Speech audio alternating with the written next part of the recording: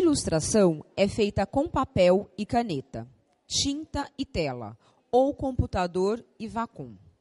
Esses não são os limites, pois o grupo Matizes Dumont ilustra com tecido e linha. O bordado faz parte da história da família Dumont há três gerações.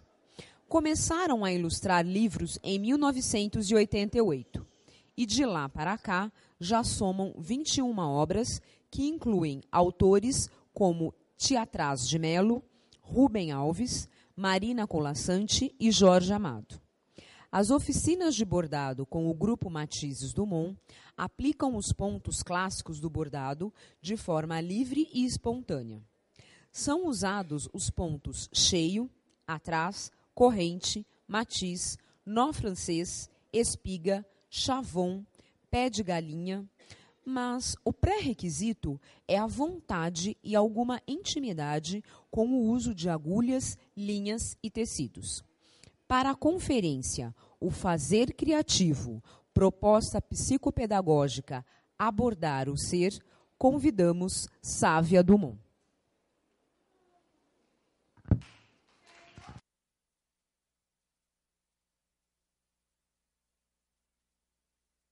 Encontra um monte de bordadeira e a gente já olhou muita coisa junto já viveu muita coisa junto.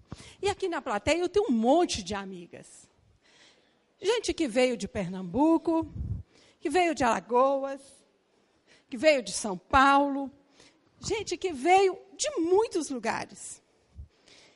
E é muito bom o bordado, que sempre teve um lugar menor nas artes, estar dentro da academia hoje. Muito obrigada, Ângela. E é a artesania que borda a história de vida de cada uma de nós, é que fortalece essa cultura de abordar o ser. Muito obrigada pela presença de todas.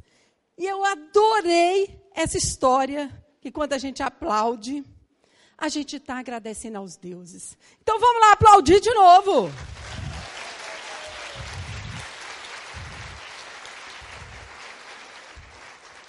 Eu vou falar um pouquinho sobre o processo criativo do grupo Matizes Dumont. Todo mundo sabe que a gente borda desde criança, que a gente aprendeu a aprender com a nossa mãe, que não sabe nada e que fala que todos os dias a gente aprende alguma coisa. E agora ela deve estar lá rezando e falando: Meu Deus do céu, Nossa Senhora Aparecida, onde andará a Sávia me passando vergonha? Porque eu conto muita potoca sobre ela.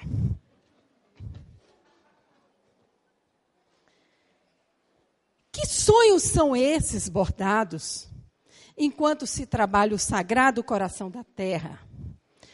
Onde, entre silêncios e murmúrios, o grão brota e a raiz expande para dentro e para cima, em galhos habitados por pássaros e meninas. Ângela Dumont. Pode passar. Gente, esse é o pé da minha mãe. Aí ela fala: Nossa, mas esse pé parece pé de macaco. E é isso aí, né? Ela borda há muitos anos, desde oito anos de idade. E ela teve oito filhos. E ela teceu a vida. Hoje ela tem 84 anos. Ela teceu a vida junto de nós e junto de todas vocês que também bordam. Nós somos oito filhos. Dos oito, cinco seguiram o caminho dela. Esse é meu pai, que era um pequeno agricultor, e ele gostava muito de contar história. E vocês Pensem bem, filhos de contador de história e de bordadeira era uma coisa. Não, para, para. Volta, volta. É, foi natural bordar e escrever livros. Pode passar. E aí a minha mãe fez um trabalho, sem querer, transgeracional. E aí, quando a gente fala transgeracional, ela fala, o quê? Não sei nem que palavra é essa. Não tem nem parente que sabe o que é isso. Mas ela praticou. Ela ensinou, aprendeu com a mãe, com as tias, com as amigas, passou para as filhas, que passaram para as netas. Então, esse trabalho a gente aprendeu e hoje a gente passa para todas as pessoas que querem bordar. Ah, mas você ensina tudo? Não, não ensino nada. Quem vai para as oficinas do Matizes Dumont pensando que vai aprender mais pontos, está ferrado. Porque tem pontos que eu nem sei. E são milhares. A gente é somente uma pontezinha, uma pinguela, como diz lá em Minas, para que vocês relembrem as coisas boas da sua infância, relembrem o carinho da mãe, da tia, da avó, da madrinha bordadeira. E é essa essa função nossa de fazer essa essa pontezinha, essa ligação entre o saber que está dentro da alma de vocês e a expressão da arte, que é o bordado. E aí, nós somos cinco, como eu falei, né? Ali está minha mãe, está a Ângela, o Demóstenes, eu, Marilu e Marta. Marta e Demóstenes fazem os desenhos. Dos livros, só o Demóstenes. E a Marta faz os desenhos do nosso instituto, que mais, mais para frente eu vou falar um pouquinho. E ali está minha mãe, com quatro netas, são nove netas, todas bordam, mas são essas quatro que seguiram o caminho da gente e fazem parte do Matizes do Mundo. E nós somos muitos, né? É, nossa, ali tem várias fotos da gente em Pirapora, da gente em Brasília, o Demóstenes no ateliê dele em Tiradentes. E aí a gente mostra que as coisas acontecem brincando. Aí está Luísa, essa ruivinha, filha da Marta, quando ela tinha uns 9, 10 anos, participando de uma oficina numa escola Waldorf, em São Paulo. Pode passar. Agora, a Luísa moça, ensinando Clara, que já é a quarta geração, a abordar. A Clara é neta da Ângela. Então, são quatro gerações. Pode passar. Aí está Dudinha, minha neta, Hoje ela tem três anos. Quando eu estou fazendo oficina no meu ateliê, ela fica com a sacolinha, vendendo linha. E aí ela ainda pergunta: é débito ou crédito? E desde pequena, assim, bebê, o brinquedo é a linha, é a tesoura, é o papel. São as coisas que a gente trabalha. Bom, eu vim falar sobre processo criativo. Aí eu falo sobre abordação. E o que, que é abordação? O que, que é quando as mulheres se juntam para abordar? Para quê? Para alegrar a alma? Para complementar a renda familiar? Ou só para se alegrar? E aí a gente ocupa os espaços de convivência, onde as, as amizades são tecidas.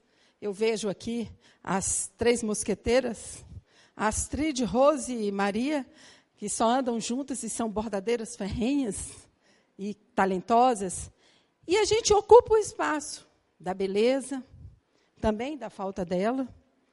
A gente fica entre o cuidado e o amor, entre o, o sagrado e o humano. Pode passar. E aí, Paula? Cadê Paula? Paula Marcondes? Paula Marcondes. Paula, a Paula, eu vou fazer uma oficina com a Paula e eu estou assim, pisando em ovos, porque ela falou que vai me ensinar a dar o nó. E ai, ai, ai. E aí eu pergunto, né? Quando a gente anda, por onde anda conosco o nosso rigor? Por onde anda o método? Por onde anda a nossa flexibilidade? Por onde anda o lúdico, a brincadeira, alegria de misturar as cores. Por onde, anda, por, onde, por onde anda a amorosidade entre nós, que bordamos juntas? Você pode bordar lá no Rio de Janeiro, como a Astrid borda, e juntar com a Fátima Coelho, lá em Belo Horizonte. Por onde anda, gente? Por onde anda esse encontro que a gente tem que ter com a gente mesmo? E a vida em movimento? Como que a gente vai abordar essa vida? Todas as nossas dificuldades. Mas eu nunca vi ninguém abordar as dificuldades. Eu vi as pessoas transcender essas dificuldades, superar essas dificuldades pelo bordado. E aí a gente borda a vida em movimento. A gente borda as nossas escolhas pessoais.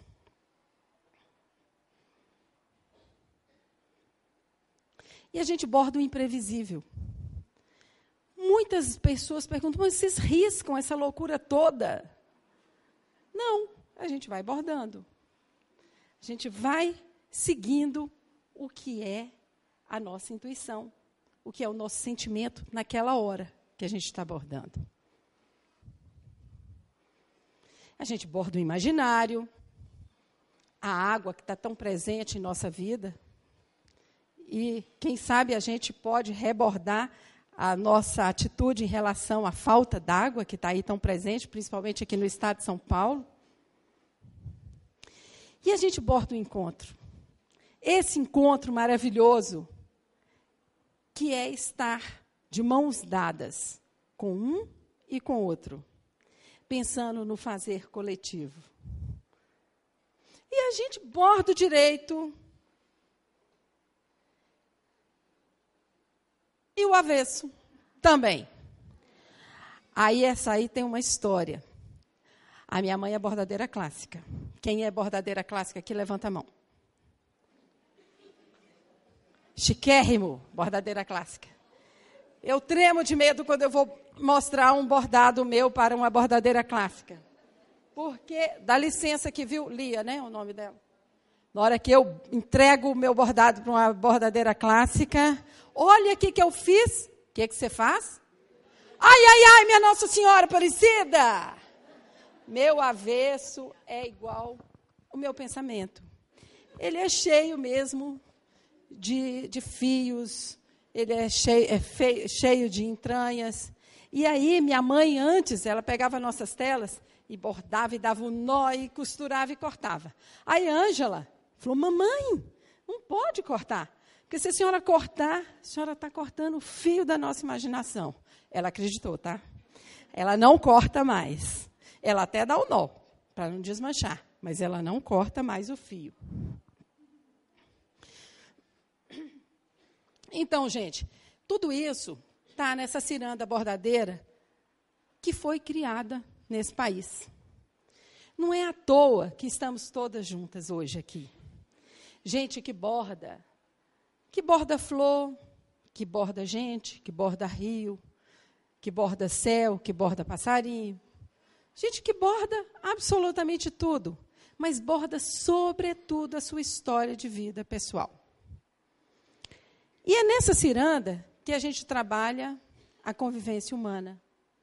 É essa grande troca de nós todas, aprendizes de bordar, que a gente faz esse movimento de, de você para o outro e de receber o outro para você mesmo. É essa grande troca que eu acho que é fantástica e é uma coisa assim, que acontece na vida da gente e que quem participa dessa ciranda sabe a beleza e a alegria dela. Bom, eu vou falar aqui um pouquinho sobre o bordado universal. Milhares de mulheres bordam nesse mundo. Tem bordados maravilhosos em todas as, todos os continentes. E o bordado brasileiro, ele não fica atrás de nenhum. Porque hoje, com a internet, você pode pesquisar, você vai ver que tem coisas lindíssimas na França, na Itália, na Suíça, na América Latina, em qualquer lugar que você clicar, você vai ver que os bordados são lindos, criativos. É, você vê que as pessoas que fizeram são pessoas que colocaram ali todo o sentimento, todo o afeto ao fazer. Esse foi o primeiro bordado que ocupou o espaço de história seriada no mundo. Todo artista, todo ilustrador, ele ele olha isso. Essa é uma tapeçaria francesa. É, os franceses fizeram, contaram a história seriada da invasão da Normandia. Então vocês veem que o bordado ele é uma coisa tão maravilhosa que hoje, 980 anos depois, está aí, contando a história de uma guerra. E aí não foi feito só por mulheres, foi feito por homens, por mulheres, por jovens, por pessoas mais idosas e por crianças também. Aí tem o bordado chileno, que também é esplendoroso, com muitas cores, coisa linda, né? Tem o bordado mexicano, que também é volumoso, forte. Tem as famosas molas do Panamá. O bordado boliviano. O peruano também, que é lindíssimo. E o Arthur Bispo do Rosário, brasileiro, que fez com que nós, que pensávamos que éramos normais, percebêssemos a nossa loucura. E quando a gente borda, a gente trabalha também a sanidade. A gente trabalha a saúde e a gente trabalha a nossa loucura. O nosso fazer trabalha as nossas dificuldades, as nossas entranhas, e a gente nem percebe isso. E o bordado fica maravilhoso. Esse manto, ele bordou a vida inteira. Bordava, desmanchava, tornava a bordar. Ele queria chegar no céu de Beca. Lindo, maravilhoso. Para São Pedro abrir a porta, claro. Fico revoltada. Você acredita que ele não foi enterrado com o manto? Aí fala assim, mas você está louca de pensar que ele tinha que enterrar com a preciosidade dessa? Claro, gente, como esse homem entrou no céu? Mas esse, esse trabalho dele está exposto no Rio de Janeiro. É uma grande psicanalista, psiquiatra, fez uma campanha da arte e do fazer. E foi muito bonito. E eu acho que é bonito a gente perceber que quando a gente borda, a gente borda aqueles sentimentos, todos eles que estão dentro da gente.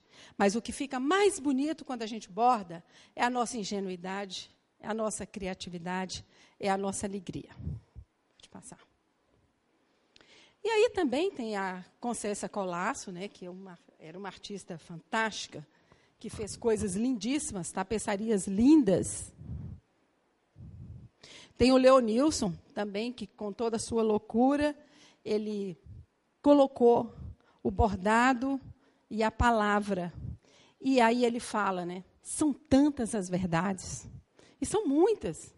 E quando você borda, você procura a sua verdade.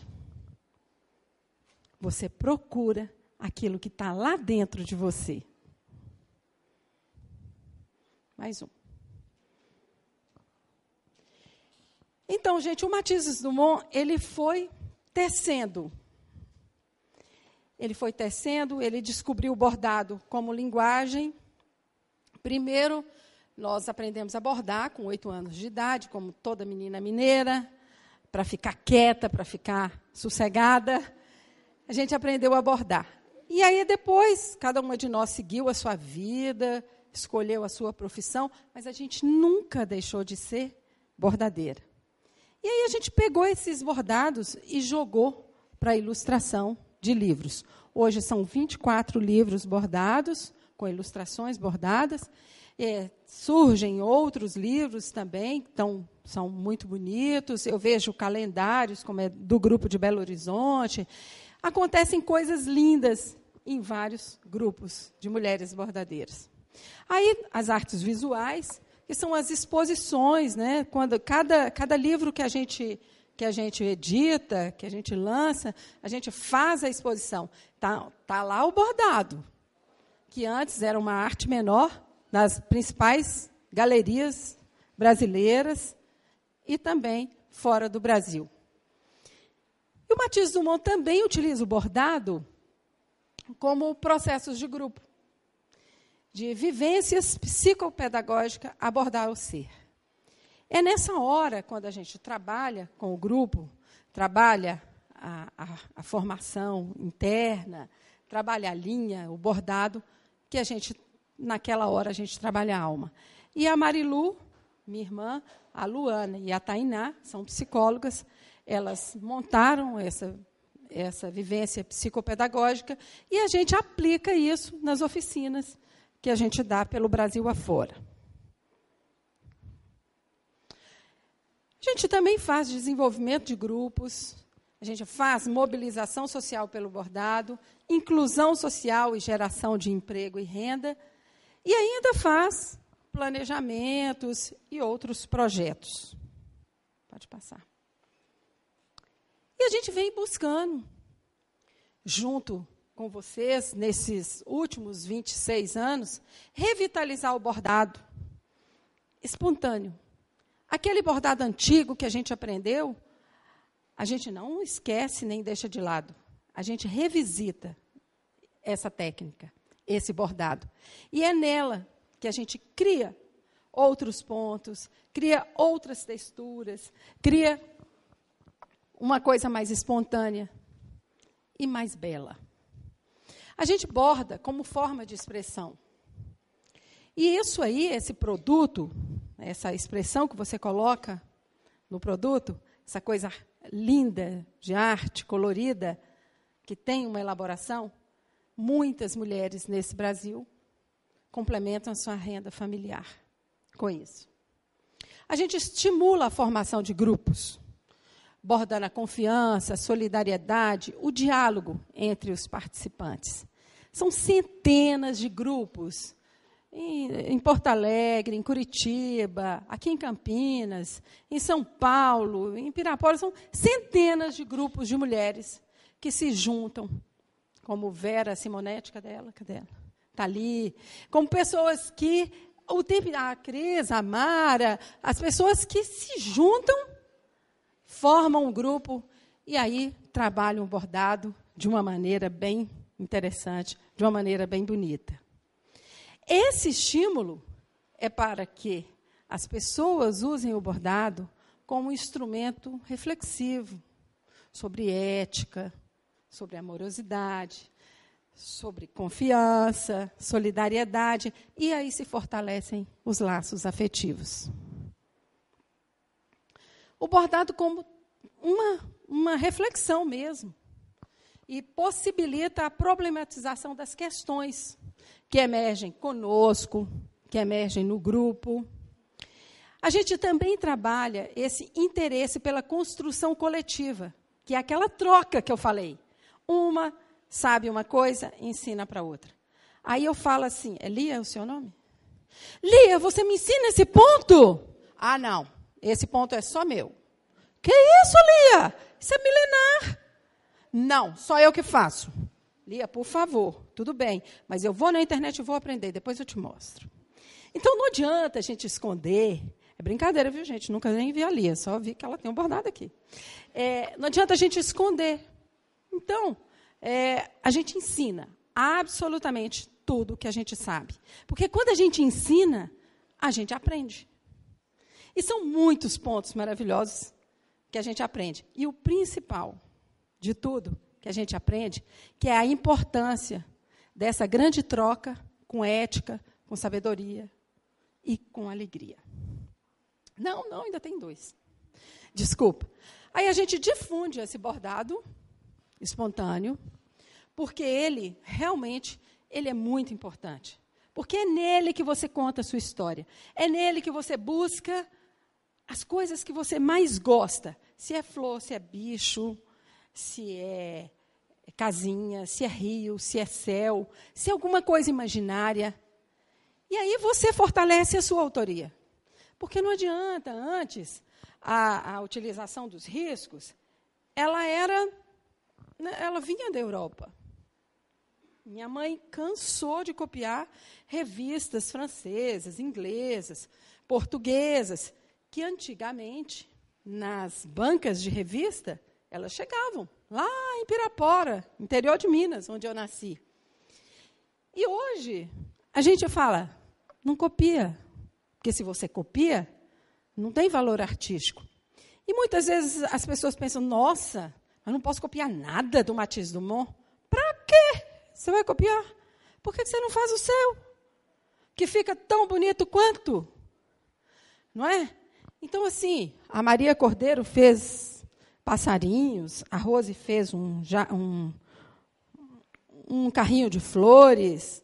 Aqui tem a, a Fátima e o grupo dela fizeram um calendário super bonito. Então, assim, a autoria é importantíssimo. Por quê? Porque ali sim tem elaboração. A cópia não vale nada. Eu tenho umas alunas que eu brinco com elas. E, na hora que você chegar na feira para vender, quando a mulher for comprar, vai falar: Nó, que trem feio! Isso aí está parecendo as coisas do Matiz do Mon, mas só que é uma cópia. Você mora onde? Ah, moro lá no Rio Grande do Sul. Mas, vem cá, lá não é chimarrão? Que aqui eu estou vendo é pão de queijo na mesa. Então, a pessoa tem que bordar. É a sua história, a sua realidade, a sua autoria. Agora, tem coisas que são universais: as flores, os pássaros, as árvores. E aí, você borda uma árvore azul. Como é o seu nome? Judite bordou uma árvore azul maravilhosa. Aí a a Ângela fala com ela: E Judite, o que, que é isso? Está ficando doida? Sua árvore azul? árvore de Judite. É, ninguém tem nada com isso. Ela quis bordar de azul. E aí tem a questão do respeito pelo trabalho do outro. Pode passar. Então, gente, são hoje 24 livros com ilustrações bordadas. Já existiam livros é, ensinando a bordar. Revistas japonesas maravilhosas, que eu sou louca com elas, mas não posso comprar, porque é 170 reais uma. Mas são revistas maravilhosas. Tem livros franceses, alemães, ingleses, americanos, ensinando a bordar. Mas livros com ilustrações bordadas, foi a gente que fez o primeiro. Isso foi em 88. Estou velha, hein, gente? E de 88 para cá, praticamente um livro por ano, a gente tem 24 livros. O último livro está exposto lá, chama O Jardim de Antônia, uma homenagem que a gente fez à minha mãe e todas as bordadeiras. Pode passar. Nas artes visuais. É, nós fizemos uma exposição super bonita e foi com muito orgulho, com muita alegria, que a gente bordou Portinari, o mestre das cores. Foi uma exposição que correu aí várias capitais, cinco capitais. Agora vai a mais dez capitais. É, sobre os estudos do Portinari que ele fez para o projeto Guerra e Paz. E aí, os críticos de arte Graças a Deus, aquele povo difícil de lidar, nunca escreveram uma linha assim contra o nosso trabalho. Só alegria, só elogio até hoje, viu, Terezinha? Cadê a Terezinha? E aí, assim, a gente pensa, oh, então será que a gente já aprendeu tudo? Que nada, a gente não aprendeu quase nada. A gente não fez quase nada ainda.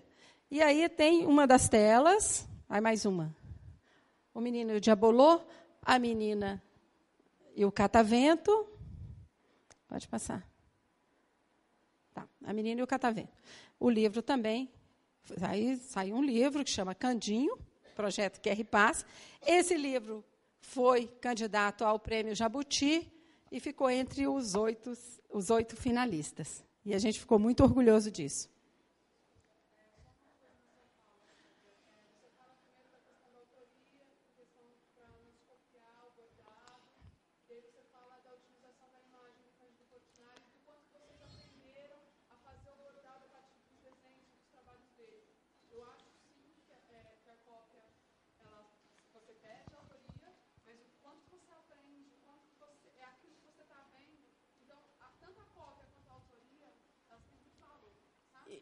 É, eu acho que a cópia, para vender, ela não tem valor nenhum.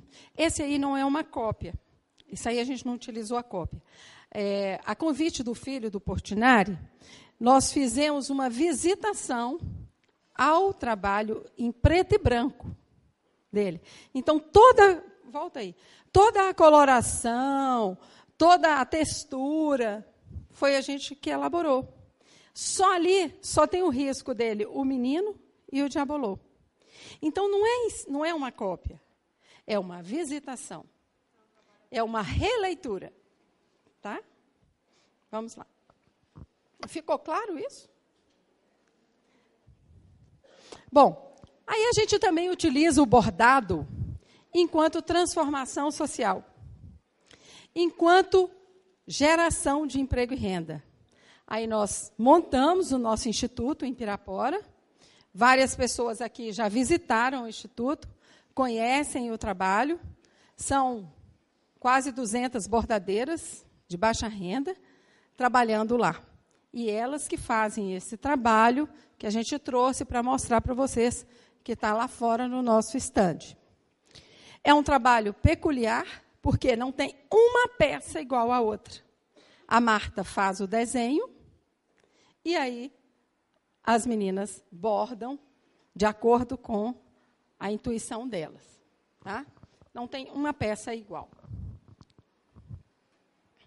E lá, nesse projeto de mobilização e inclusão social, a gente também trabalha saúde. A Terezinha visitou lá e ela nos contou da experiência dela, e ela, eu acho que ela prestou bastante atenção nisso. Mulheres que antes estavam deprimidas, que não levantavam da cama, e aí, com apoio das cores, das linhas, das agulhas, da convivência afetiva, lá no Instituto, três vezes por semana, gratuito, elas estão saindo aos poucos da depressão. Tinha uma costureira que fala uma coisa linda. Ela fala: gente, eu não sei o que seria de mim sem as linhas e as agulhas. Porque ela saiu da depressão e hoje ela faz 40, 50 peças por dia. E ela agradece essa convivência. E essa tristeza que às vezes toma conta da gente, ela acaba quando a pessoa borda, ela pesponta os seus problemas, pesponta as suas angústias e aflições, e ao fazer uma coisa bonita, ela se reborda. E aí a gente faz oficinas, e principalmente trabalhando histórias de vida. A gente faz oficinas é, de quintais, de memórias, de janelas, de flores, de passarinhos, é, de água, de rios, de matas, oficinas de várias, vários temas. Mas, principalmente, quando a gente borda a mandala, a gente vê que cada pessoa coloca aquele símbolo, aquela coisa que é mais importante para ela, no centro e aí faz a sua história de vida. Aí é lá no ICAD, onde as mulheres aprendem a bordar, são dois meses de capacitação. Enquanto as mulheres bordam lá fora, na, na varanda, pode passar. Os maridos, ou os filhos, ou os netos das mulheres bordadeiras têm um trabalho de culinária. Porque qual que é a proposta do Instituto? É fazer com que a família inteira esteja integrada no fazer coletivo. Eu te ajudo, você me ajuda, você ajuda ela, que ajuda ela, que ajuda ela. Então, depois disso, esses meninos, esses rapazes, são integrados no mercado de trabalho, nos restaurantes, nos hotéis da cidade. Então, lá não é só o bordado. A gente também trabalha geração de, de, de gênero. É, os meninos aprendem a navegar na internet, mas, sobretudo, eles aprendem. Volta um pouquinho. Eles aprendem a consertar os computadores. E esses garotos também são inseridos no mercado de trabalho. Então, o bordado é só um pretexto. A gente trabalha a circularidade. Pode passar. E aí as meninas têm aula de dança. Pode passar. E aí é o encontro mesmo. A arte permeando tudo para formação individual ou do grupo. E a gente trabalha esses movimentos, a gente busca a sensibilidade, a sensibilidade, a sua sensibilidade, a sensibilidade do outro, a corporeidade. A gente dá forma. Quando a gente, eu falo a gente, somos nós, nós bordadeiras. Damos formas, cores, textura, a beleza que a gente vê. E a gente cria esse movimento de rede, sim, porque eu vejo centenas de grupos se movimentando aí nas redes sociais, né? É, grupos abertos, inclusive, não são grupos fechados, postando o que uma, o que a outra, o que faz para a outra ver. Esse movimento é muito bonito. E aí também a gente trabalha a expansão do tecido social onde a gente encontra os problemas, os desafios, e o bordado também permeia na cura, na solução. Não sei se chega a ser uma solução, mas pelo menos uma tentativa de ser mais feliz. E aí, com essa possibilidade de ser feliz, a gente trabalha a constituição do sujeito no social. A gente trabalha a educação popular, é uma questão transformadora, que quando a gente forma um grupo de mulheres que nunca estudaram, que nunca saíram de casa para trabalhar, conseguem fazer peças lindas e elas conseguem vender, há sim uma grande transformação social. E também a produção do conhecimento, né? A estética, a ética. As pessoas passam a ver as coisas de uma outra maneira. Passam a pesquisar os grandes mestres da pintura, passam a ver outras, outras artes que integram as artes visuais. E aí você trabalha, assim, a ética, você trabalha a estética. E trabalha, sobretudo, gente, nosso trabalho ele é muito em cima da espiritualidade, da busca pela paz. E aí, quando a gente borda, a gente reconhece. Eu sou, eu sei, eu posso. Eu e o outro juntos. E aí, eu vou ter que chegar mais perto, porque eu não enxergo. Essa bordação, ela tem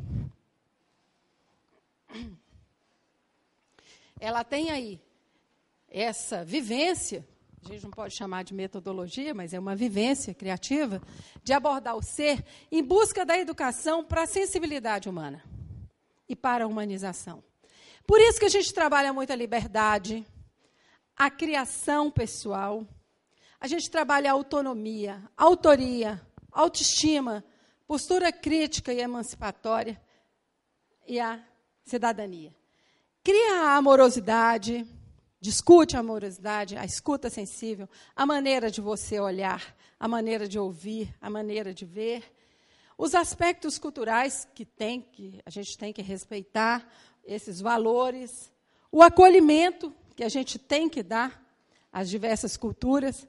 Há uns anos atrás a gente estava em Minas e minha irmã estava desenhando história de vida. Eu conto isso, todo mundo morre de rir, principalmente as ciumentas.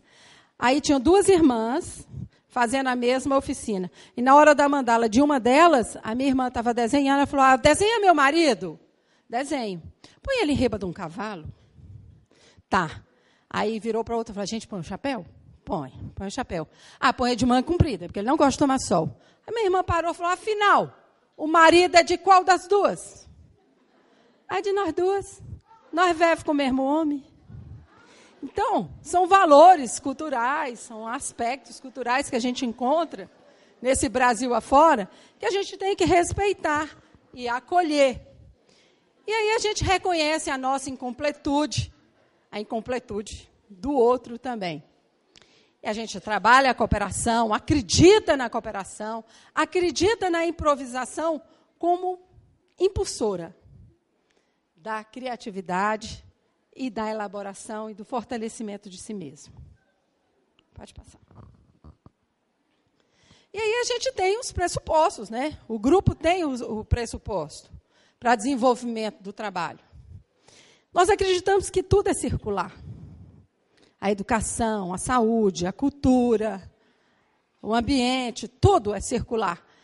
E, independente da sua condição social, da sua cor, independente da, se você é intelectual, se você é analfabeta, independe, tudo isso faz com que a gente se torne igual nesse momento.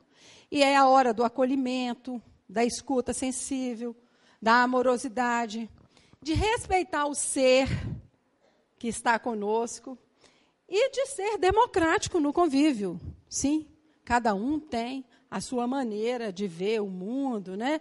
de valorizar o conhecimento de cada um dos participantes, de procurar a beleza nas coisas simples, porque muitas vezes você não percebe que é a simplicidade que preenche o vazio que está lá dentro de você.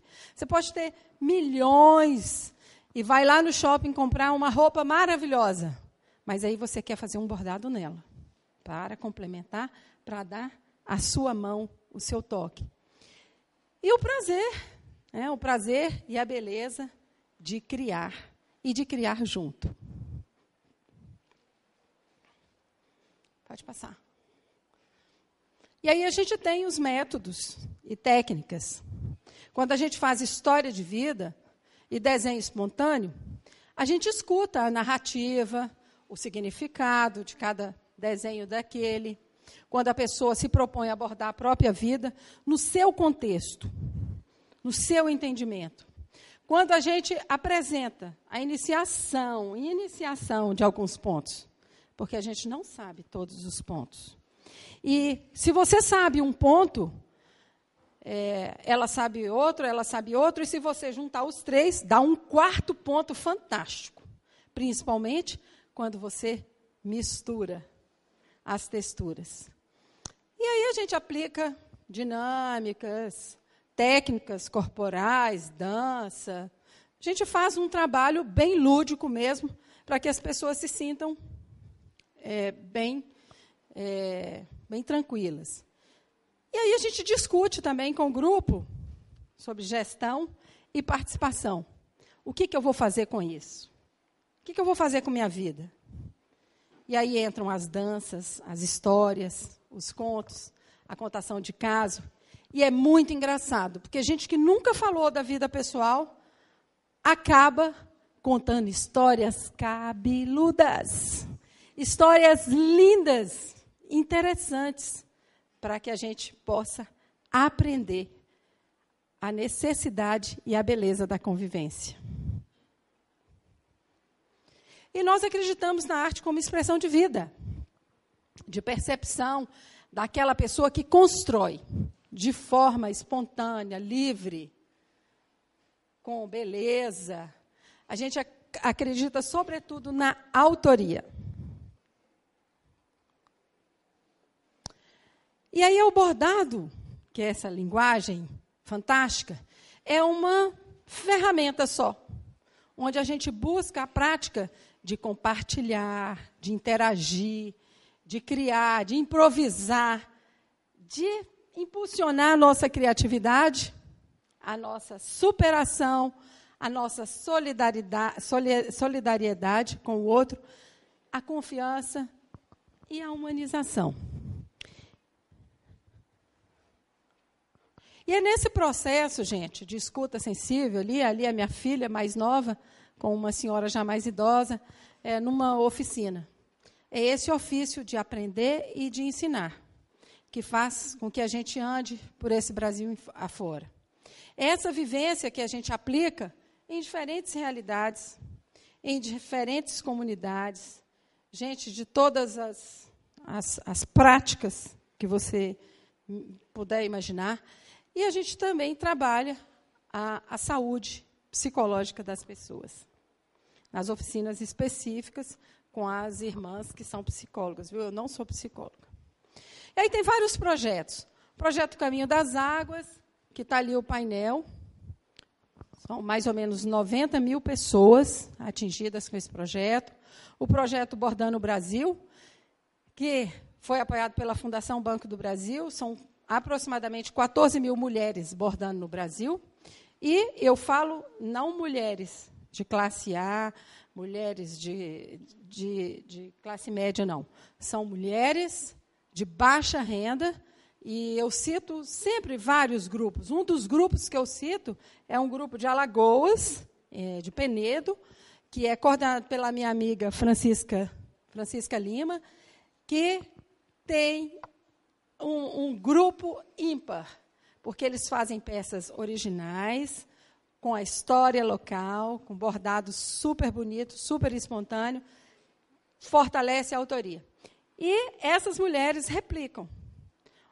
Uma aprende e ela se propõe a ensinar para mais cinco: para a avó, para a tia, para a amiga, para a comadre, para a neta, para a nora. E aí vai esse replique. Tem um outro projeto também que a gente trabalhou, que foi a questão ambiental, foi na Espanha, onde a gente bordou em, pra, em praça pública, num, num Fórum Mundial sobre as Águas. A gente trabalhou a questão da importância e da necessidade do uso múltiplo das águas. Então vocês verem, vocês podem ver que o bordado ele é um pretexto. Você pode trabalhar absolutamente tudo. No pro, o projeto Yandeva, a gente bordou na tríplice fronteira com mulheres paraguaias, argentinas, uruguaias, brasileiras. E aí a gente fez com que essa fronteira ela fosse expandida. Aí tem outras coisas na área de saúde, na área de planejamento. Pode passar. São muitos projetos. O projeto Bordando Brasil, que eu falei, né, já, já falei, ele propicia emprego e renda. São centenas de grupos que hoje, se você for na Paralela Gift em São Paulo, você encontra quatro, cinco estandes de mulheres bordadeiras que foram capacitadas pelo Grupo Matizes Dumont. Vocês encontram, encontram grupos que não estão nas feiras, mas que estão exportando. Que uma coxa delas, como é o caso das meninas lá perto de Brasília, uma coxa delas é em dólares. A professora nem pode comprar. Eu falo para a professora, é mais barato? Porque é em dólares. Não é, claro, porque fica mais caro ainda, né? Porque tem aí o respeito e a consideração e o reconhecimento do fazer. Pode passar.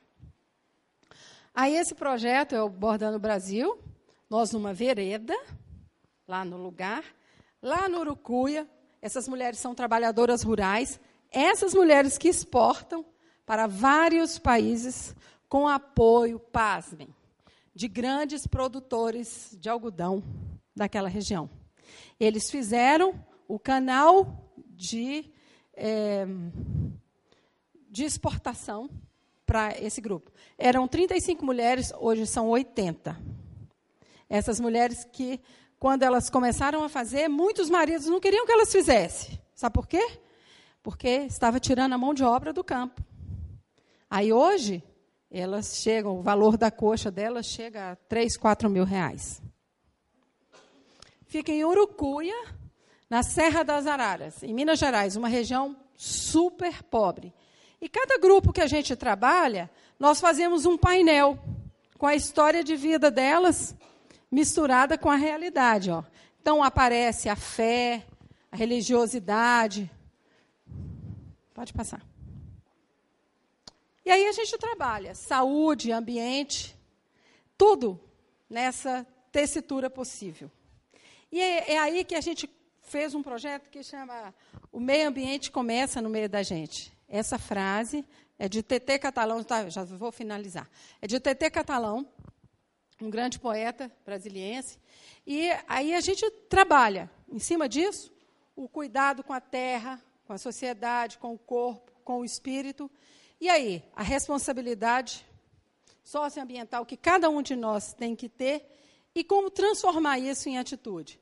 E isso aí a gente aprende a saber cuidar. Um projeto no Quilombo, no Rio Grande do Sul, com mulheres negras, Projeto em Andeva. Pode passar. O meio ambiente começa no meio da gente. Na Expo Saragossa, na Espanha.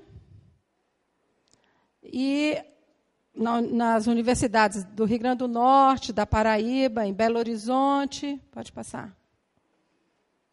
E esses momentos, gente, contribuem mesmo para a organização, tanto dentro do trabalho como a organização pessoal. E é esse sentido de criatividade, de improvisar, que faz com que a sensibilidade manual ela sobressaia, ela apareça. Aí vem a destreza, a prontidão para absorver as surpresas e os imprevistos.